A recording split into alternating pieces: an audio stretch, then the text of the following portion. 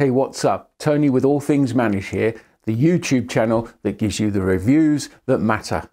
We're going to be racing today. Well, maybe not quite racing, but messing about with a remote controlled car that actually not only races on the floor, but climbs walls.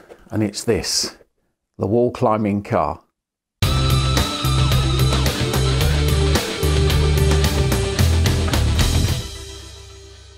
This wall climbing car is about roughly the size of a, an iPhone Plus, iPhone 7, iPhone 8 Plus, and just a little bit thicker. Only weighs a few grams. Um, the only moving parts is, the, is actually the whole car. The wheels don't move and nothing, um, you know, nothing else moves. However, it does have um, blue headlamps and red rear lamps as well. Remote control, it's worked from this which is the remote control. Um, it's uh, operated via um, AA, AA batteries. You can charge this car because this car has a rechargeable battery. And you can charge this car via the cable that's attached to the actual remote control, or you can charge it using a, um, a USB cable which attaches or plugs into the rear of the car. The USB cable is a bright yellow colour and when you plug it in and the car needs charging, then the USB plug will actually light up orange, orangey red. But once it's fully charged, then that light goes out and the car is ready to operate. At the rear here, we have a control. One is the floor control. So if you want to drive this on the floor, you switch it to the floor control, which is one click. And then if you want to put it on the wall or the ceiling, you know, of course they've got to be smooth, then you switch it over to the next switch, which actually says um, the wall. Now obviously I'll, I'll switch this on, but it does get noisy. It is a noisy car. Here we go. What happens is, just put that remote control down. What happens is it works, there's a skirt here, flexible skirt, and it works on a suction and uses air to, to sort of suck it or keep it to the actual wall or the ceiling.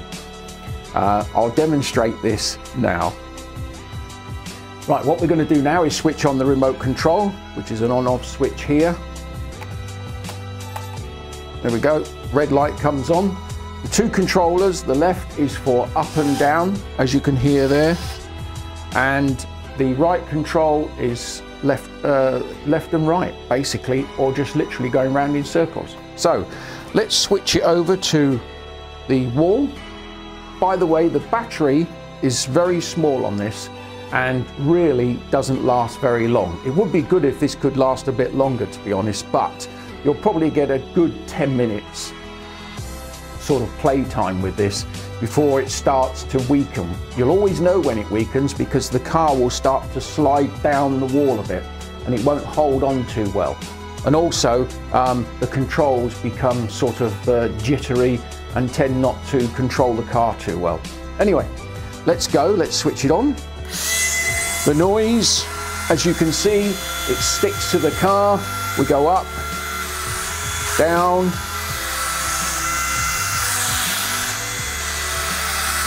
turn round,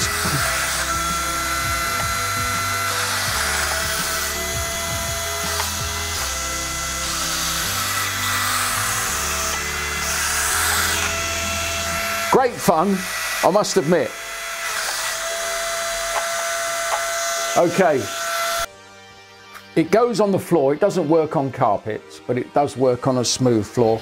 It'll also work on the ceiling and um, as well as the wall.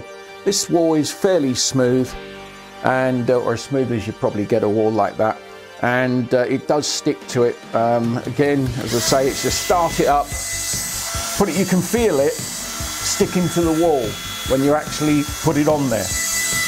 And then of course, you've got that control over the car. The car is uh, nicely coloured, very dramatic, uh, looks great, albeit it's not that uh, powerful and not that small.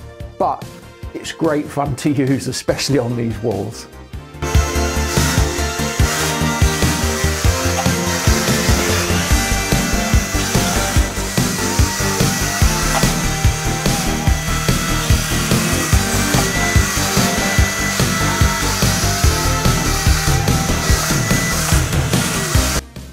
The age range for this toy is around about 8 to 10 years of age. Any younger and it could break fairly easily. Don't forget the battery doesn't last too long on this. You will get 5 to 10 minutes of good playtime out of it. It doesn't take long to recharge it. As I say, you can recharge it using the USB cable or you can use the cable on the remote control and charge it from your remote control. Okay, thanks for watching. I hope that uh, you've got something out of this. I'll leave the link for this toy, this card down below, together with our website at www.allthingsmannish.com and our social media pages at Facebook, Twitter and Instagram. Well, I must admit this has been great fun in uh, reviewing this toy and I might just go off now and uh, spend a few more minutes playing around with it. Okay, thanks for watching.